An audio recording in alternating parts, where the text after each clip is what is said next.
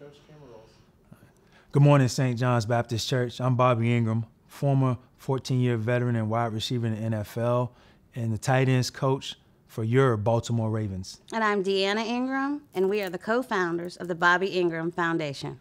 The Bobbi Engram Foundation was named after our late daughter Bobbi, who transitioned August 25th of last year after a tough battle with sickle cell disease.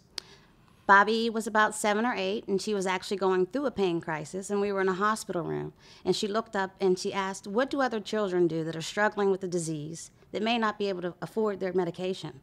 So, uh, with her inspiring words, we we formed the foundation, and our mission has been to teach, care, and ultimately find a cure for people that battle this debilitating disease.